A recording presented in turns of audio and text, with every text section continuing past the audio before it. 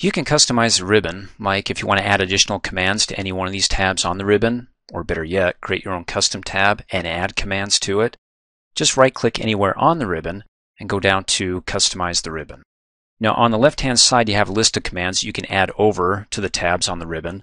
Well, it's popular commands. If you want to see all the commands that are available to add to the tabs on the ribbon, click on the drop down arrow and go to All Commands. It's got it numerically and then alphabetically.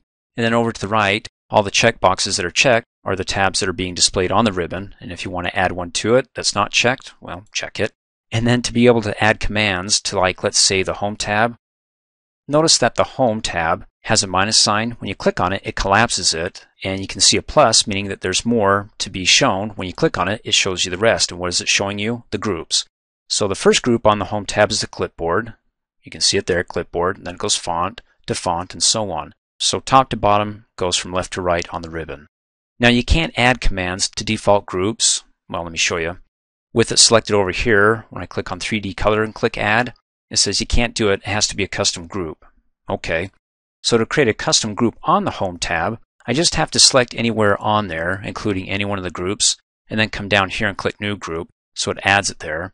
And then the default name is New Group, which doesn't work for me. So with it selected, I can come down here and click Rename, and then call it something spiffy, because everything we do is spiffy here at Dreamforce.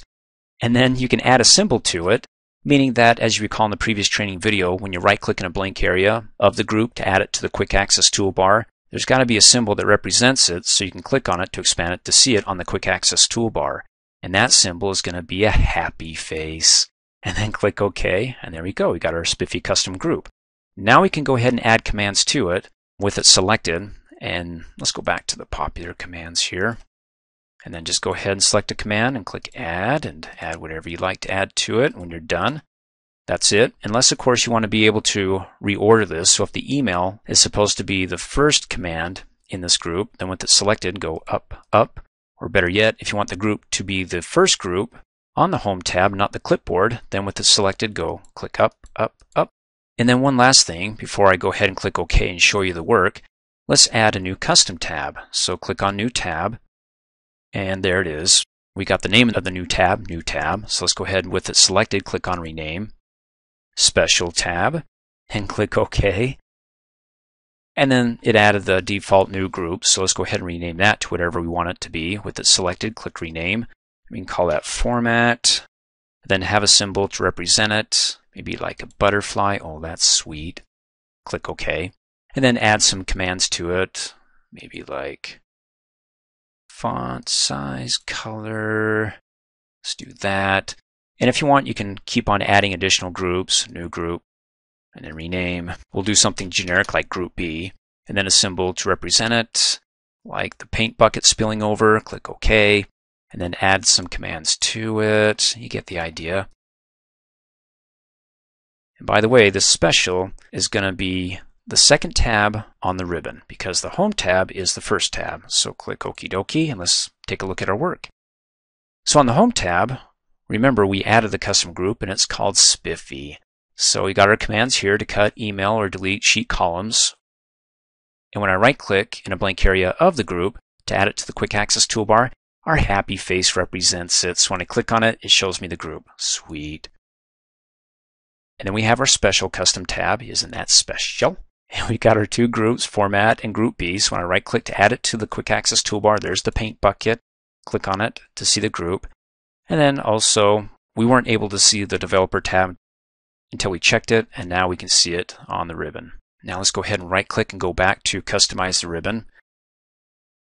So in the process, let's say you made a lot of changes to it, and you're like, oh, I made so many changes, what a mess. I wish I can get it back to the way it was without having to go through all the work. Well, you can by coming down here and clicking on the reset drop down arrow, and you get two options. You can reset only a selected ribbon tab. So if you got a selected ribbon tab that you made some customizations to it like the home tab, with it selected, click on the drop down arrow and just do that tab. Or do all customizations. Now that includes not only everything on the ribbon, but also up here on the quick access toolbar. It's going to get rid of the paint bucket, the happy face, the open, and the save as. Oh, that's horrifying. Oh well, it won't take me long to add a couple of commands to it then as opposed to resetting everything here. And before I do that, If you want to keep your tab but you don't want to see it, you can always uncheck it and then click OK and special is gone, right? But it's not gone completely because you can right click on it, go back to customize the ribbon, and then check it to have it reappear. So let's go ahead and click on reset and let's do reset all customizations and it says delete all ribbon and quick access toolbar customizations. Yes. Click okie dokie. And there you go. The happy face is no longer there, or the paint bucket, or the open folder, or the save as. The special tab's gone. The developer tab's gone, but the Acrobat is now showing because that was the default here. So if I want to get rid of that, right click. Again, you got customize the ribbon, uncheck, click okie dokie. And we're back to where we started. And I just need to go ahead and add a few more commands like the save as, right click, customize the quick access toolbar, scroll down, save as, and open. Click okie dokie. Now we're back to where we started. Another way to customize the ribbon is to actually hide it. So if you want more space vertically here, go ahead and come up here and click on the ribbon display options and you can auto hide it. Right now it's showing the tabs and commands. You can also just show the tabs or completely hide it and it's gone. Well, if you want to bring it back up, then just come up to the top until you can see a green bar shooting across. Click on it opens up temporarily so you can select a command on it.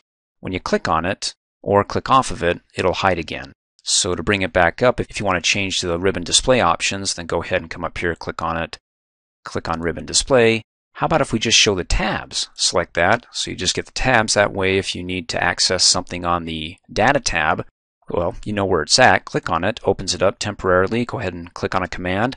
When you click on it or click off of it, it collapses again. And then to bring it up completely so you see both the tabs and the commands, then just come up here, click on the ribbon display, and say you want tabs and commands. Or you can just go ahead and double click really fast on a tab and does the auto hide so you just see the tabs. Double click on it really fast and it keeps it up even when you click off of it or click on another command.